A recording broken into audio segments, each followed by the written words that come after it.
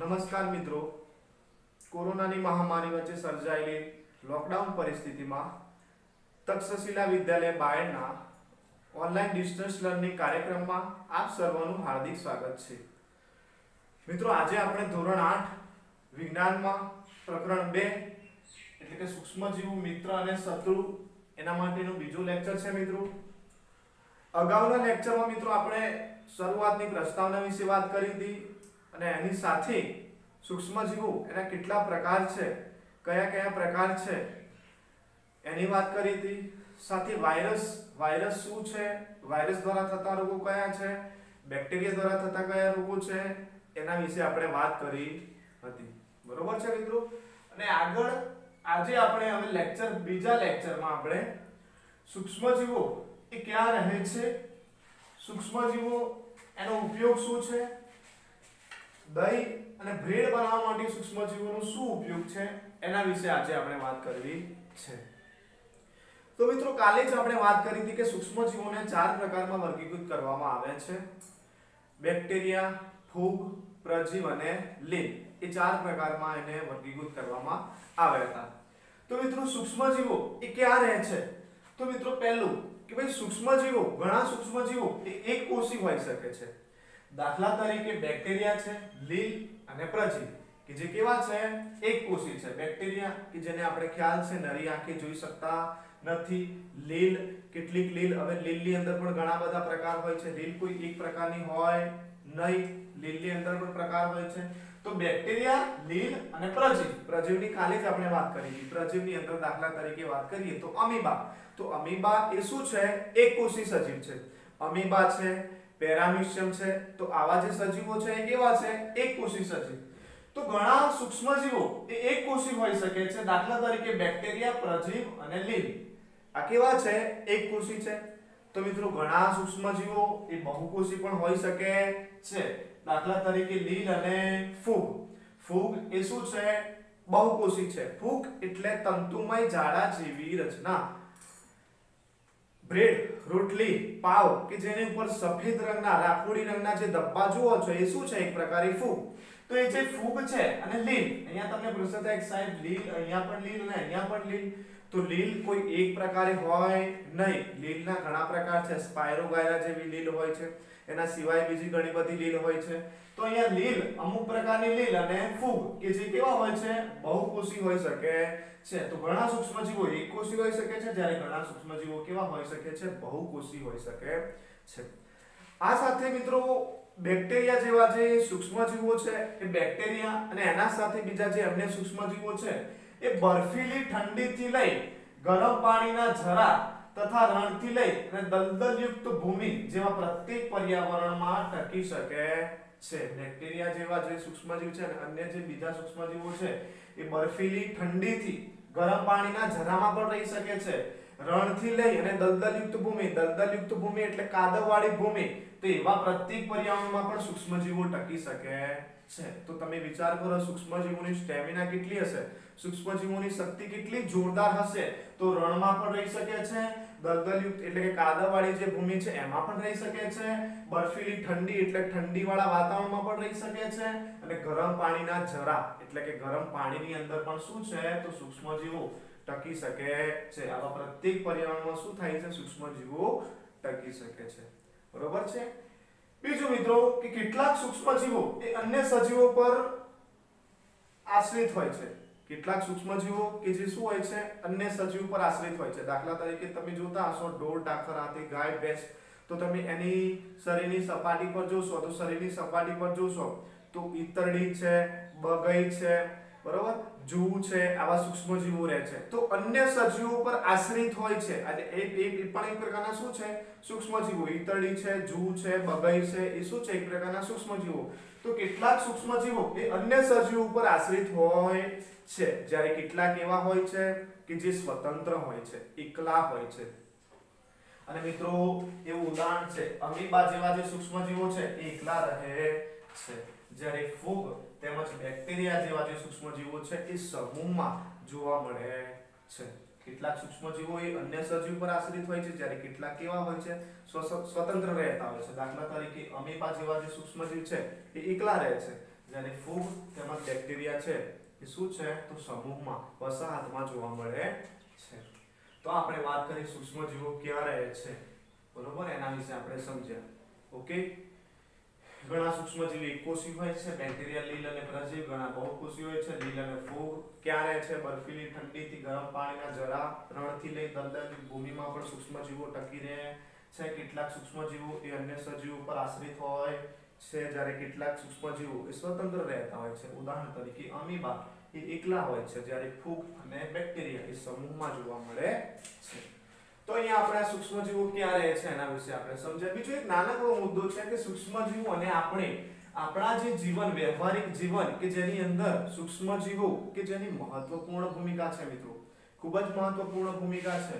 એટલે કેટલાક સૂક્ષ્મજીવો એ આપણા માટે લાભદાયી હોય છે. જ્યારે કેટલાક એ હાનિકારક હોય છે અને રોગકારક પણ હોય છે. કેટલાક સૂક્ષ્મજીવો એ લાભદાયક. દાખલા તરીકે તમે જુઓ, ઔષધ બનાવવા માટે સૂક્ષ્મજીવોનો ઉપયોગ થાય છે. એન્ટીબાયોટિક દવાઓનું નિર્માણ કરવું હોય તો એના માટે પણ આપણે સૂક્ષ્મજીવોનો ઉપયોગ કરીએ છીએ. તો એ આપણા માટે ફાયદારૂપ છે. જ્યારે કેટલાક હાનિકારક અને રોગકારક, કેટલાક સૂક્ષ્મજીવો એ આપણા શરીરની અંદર રોગોનો ફેલાવો પણ કરે છે. તમને ખ્યાલ છે, કાલે જ આપણે વાત કરી હતી કે બેક્ટેરિયા દ્વારા ઘણા બધા રોગો થાય છે, વાયરસ દ્વારા ઘણા બધા રોગો થાય છે, વાયરસ દ્વારા શરદી, ઉધરસ અછમ શરદી, ઉધરસ જેવા જે રોગો છે એ કોના લીધે થાય છે, તો વાયરસના લીધે થાય છે એની આપણે કાલે વાત કરી ગયા હતા તો કેટલાક સૂક્ષ્મજીવો એ રોગકારક પણ હોય છે, જ્યારે કેટલાક કેવા હોય છે, ફાયદાકારક પણ હોય છે. તો મિત્રો, ઉપયોગી સૂક્ષ્મજીવો કયા છે? એના વિશે આપણે વાત કરવી છે. તો ઉપયોગી સૂક્ષ્મજીવો સૂક્ષ્મજીવોનો એવો શું ઉપયોગ છે? કે જે આપણા જીવન વ્યવહારની અંદર સૂક્ષ્મજીવો કઈ રીતે ઉપયોગી છે? તો એના વિશે વાત કરવી છે. તો પહેલો મિત્રો, કે સૂક્ષ્મજીવોનો ઉપયોગ દહીં, બ્રેડ તેમજ કેક બનાવવા માટે સૂક્ષ્મજીવોનો ઉપયોગ કરવામાં આવે છે. દહીં બનાવવા માટે પણ સૂક્ષ્મજીવોનો ઉપયોગ કરવામાં આવે. બ્રેડ બ્રેડ તમે જોઈ લી હશે તો બ્રેડનું ઉત્પાદન કરવા માટે પણ સૂક્ષ્મજીવોનો ઉપયોગ કરવામાં આવે. પછી કેક બનાવવા માટે. ઇન્ડસ્ટ્રીની અંદર, ઉદ્યોગોની અંદર કેક બનાવવી હોય, પેસ્ટ્રી બનાવવી હોય, તો એના નિર્માણ માટે પણ, એને બનાવવા માટે પણ સૂક્ષ્મજીવોનો ઉપયોગ કરવામાં આવે છે. તો એનો પહેલો ઉપયોગ. બીજું કે આલ્કોહોલની બનાવટમાં પણ સૂક્ષ્મજીવોનો ઉપયોગ થાય છે. આલ્કોહોલ એટલે કે દારૂ. મોટા પાયે દારૂનું ઉત્પાદન કરવું હોય, તો દારૂના ઉત્પાદન કરવા માટે પણ સૂક્ષ્મજીવોનો ઉપયોગ થાય છે. બીજું કે પર્યાવરણને સ્વચ્છ રાખવા માટે પણ સૂક્ષ્મજીવોનો ઉપયોગ થાય છે. તમને ખ્યાલ છે, અત્યારે પ્રદૂષણની જે માત્રા છે, એ માત્રાની અંદર દિવસે ને દિવસે વધારો થાય છે. કેટલો એવો હાનિકારક જે કચરો છે, એ હાનિકારક કચરો કે જે જમીનની અંદર જમીનની સપાટી પર ઠલવાય છે. તો એ જે કચરો જમીનની સપાટી પર ઠલવાય છે, તો એનું વિઘટન થાય છે. અને એ વિઘટન એ પણ સૂક્ષ્મજીવો કરે છે. દાખલા તરીકે બેક્ટેરિયા એ બેક્ટેરિયા શું કરે છે? તો વિઘટન કરે છે. જે નકામો જે કચરો છે, એનું વિઘટન કરે છે. વિઘટન કરવું એટલે જે જટિલ કાર્બનિક પદાર્થો છે, એ જટિલ કાર્બનિક પદાર્થોનું સરળ કાર્બનિક પદાર્થો અથવા તો નાના કાર્બનિક પદાર્થો જેની અંદર રૂપાંતરિત થવાની ક્રિયા છે ને વિઘટન કહેવાય. તો એ પર્યાવરણ, જે જમીનની સપાટી પર જે કચરો ઠલવાયો છે, તો એનું તમે થોડા સમય પછી જોશો, તો એનું વિઘટન થઈ ગયેલું હોય છે. દાખલા તરીકે શાકભાજીની છાલ, રસોડાનો વધેલો કચરો, વનસ્પતિના નકામા પાંદડા, ઘરની અંદરનું જે એઠવાળ છે, એઠવાળ, તો આ બધું આપણે કોઈ એક જગ્યાએ નાખીએ છીએ, જેને આપણે કહીએ છીએ કાર્બનિક કચરો. તો એ કાર્બનિક કચરો જે તે જગ્યા ઉપર તમે ઠાલવ્યો છે, તો એનું તમે જોશો, થોડાક દિવસો પછી શું થાય છે? વિઘટન થાય છે. તો એ કોની મદદથી થાય છે? તો બેક્ટેરિયાની મદદથી થાય છે. તો એ બેક્ટેરિયા પણ એક પ્રકારના શું છે? સૂક્ષ્મજીવો છે. અને એ બેક્ટેરિયા એ વિઘટન કરીને શું કરે છે? પર્યાવરણને સ્વચ્છ રાખવા માટે મદદરૂપ બને છે. તો ત્રીજો ઉપયોગ પર્યાવરણને સ્વચ્છ રાખવા માટે પણ સૂક્ષ્મજીવનો ઉપયોગ કરવામાં આવે છે. આ સાથે મિત્રો બેક્ટેરિયાનો ઉપયોગ એ ઔષધ બનાવવા માટે, ઘણા બધા ઔષધી દવા બનાવવા માટે, એન્ટીબાયોટિક દવા બનાવવા માટે, ટેટ્રાસાયક્લિન, સ્ટ્રેપ્ટોમાઇસિન જેવી જે એન્ટીબાયોટિક જે દવા છે, એ દવા બનાવવા માટે પણ શું કરવામાં આવે છે? બેક્ટેરિયા એટલે કે સૂક્ષ્મજીવોનો ઉપયોગ કરવામાં આવે છે અને અત્યારે તમે જોતા હશો, ઘણી બધી જે દવાઓ, એન્ટીબાયોટિક જે દવાઓ છે, એ એન્ટીબાયોટિક એન્ટીબાયોટિક એટલે પ્રતિજૈવિક. તો એ એન્ટીબાયોટિક એટલે કે પ્રતિજૈવિક જે દવાઓ છે, એનું મોસ્ટ ઓફ ઉત્પાદન એ શામાંથી? બેક્ટેરિયામાંથી, એટલે કે સૂક્ષ્મજીવોમાંથી જ એનું ઉત્પાદન કરવામાં આવે છે. તો ઘણા બધા ઔષધો બનાવવા માટે પણ સૂક્ષ્મજીવોનો ઉપયોગ કરવામાં આવે છે. આ આ સિવાય મિત્રો, જમીનની અંદર તમને ખ્યાલ હશે, નાઇટ્રોજનનું સ્થાપન થાય છે. તમે અગાઉના લેક્ચરમાં અથવા સોરી અગાઉના ધોરણોમાં તમે અભ્યાસ કરી ગયા હશો. સાતમા ધોરણમાં તમે અભ્યાસ કરી ગયા હશો કે જમીનમાં નાઇટ્રોજનનું સ્થાપન થાય છે. તો એ નાઇટ્રોજનનું સ્થાપન થવા માટે પણ બેક્ટેરિયા જવાબદાર છે. તો એ બેક્ટેરિયા શું કરે છે? તો જમીનની અંદર નાઇટ્રોજનનું સ્થાપન કરે છે. અને એ કયા બેક્ટેરિયા છે તમને ખ્યાલ હશે? Rhizobium bacteria. કયા બેક્ટેરિયા? Rhizobium bacteria. એ બેક્ટેરિયા શું કરે છે? તો જમીનમાં શું કરે છે? નાઇટ્રોજનનું સ્થાપન. તો કૃષિ ક્ષેત્રે જે નાઇટ્રોજનનું જે સ્થાપન છે, એ સ્થાપન દ્વારા જમીનની જે ફળદ્રુપતા છે, એ ફળદ્રુપતા વધારવા માટે પણ સૂક્ષ્મજીવોનો ઉપયોગ કરવામાં આવે છે. હમણાં જ મેં વાત કરી કે નાઇટ્રોજનનું સ્થાપન કરવા માટે રાઇઝોબિયમ બેક્ટેરિયા જવાબદાર છે. તો એ પણ એક પ્રકારે શું છે? સૂક્ષ્મજીવો જ છે. તો આ આપણે ઉપ- સૂક્ષ્મજીવોની ઉપયોગિતા એના વિશે આપણે વાત કરી. પહેલું દહીં, બ્રેડ અને કેક બનાવવા માટે સૂક્ષ્મજીવોનો ઉપયોગ કરવામાં આવે છે. આલ્કોહોલ બનાવવા માટે દારૂના ઉત્પાદનમાં સૂક્ષ્મજીવોનો ઉપયોગ કરવામાં આવે છે. પર્યાવરણને સ્વચ્છ રાખવા માટે પણ સૂક્ષ્મજીવો બેક્ટેરિયાઓનો ઉપયોગ કરવામાં આવે છે. બેક્ટેરિયાનો ઉપયોગ ઔષધ બનાવવા માટે, આ સિવાય જમીનમાં નાઇટ્રોજનનું સ્થાપન દ્વારા જમીનની ફળદ્રુપતા વધારવા માટે પણ સૂક્ષ્મજીવોનો ઉપયોગ કરવામાં આવે છે. અને હવે પછી આપણે વાત કરવી છે દહીં અને બ્રેડ બનાવવા માટે સૂક્ષ્મજીવોનો ઉપયોગ શું છે? તો મિત્રો, એક બેક્ટેરિયા છે કે જેનું નામ છે, યાદ રાખજો લેક્ટોબેસિલસ બેક્ટેરિયા લેક્ટોબેસિલસ બેક્ટેરિયા એ દહીંમાં હોય છે.